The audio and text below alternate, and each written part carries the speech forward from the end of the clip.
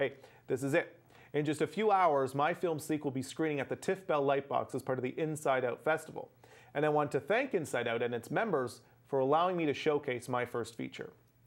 And I also want to mention Lyft and Out on Bay Street for their part in sponsoring the screening.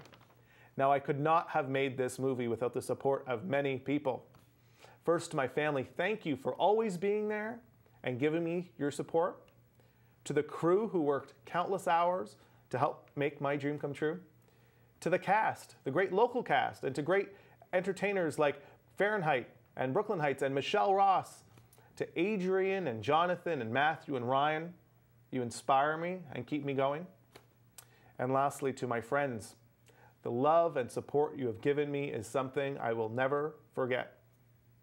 You opened your hearts and some of you your homes throughout this entire project.